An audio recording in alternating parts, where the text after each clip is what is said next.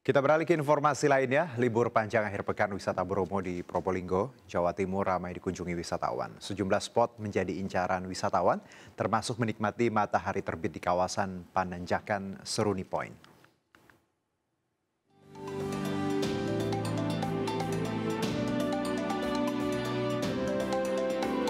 Keindahan alam Gunung Bromo di Probolinggo, Jawa Timur selalu menjadi magnet untuk mendatangkan wisatawan.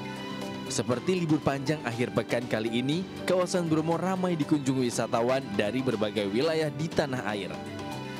Salah satu spot yang menjadi incaran wisatawan adalah di kawasan Pananjakan Seruni Point.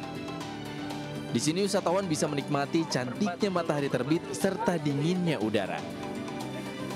Selain menikmati hangatnya matahari terbit, wisatawan juga bisa menikmati indahnya panorama Bukit Teletabis yang menghijau laksana negeri dongeng. Kalau sebelumnya dulu saya pernah ke sini itu waktu kemarau agak gersang. Kayak ya lebih tanamannya itu lebih hmm, kering-kering gitu mas. Jadi kurang enak dilihat. Kalau sekarang gimana? Sekarang sih bagus. Bikin betah atau gimana? Kalau itu sangat Pengelola wisata menyebut saat libur panjang akhir pekan ini, jumlah pengunjung di kawasan wisata Gunung Bromo meningkat dua kali lipat dari hari biasanya atau mencapai 3.000 pengunjung. Dari Probolinggo, Jawa Timur, Hana Purwadi, iNews melaporkan.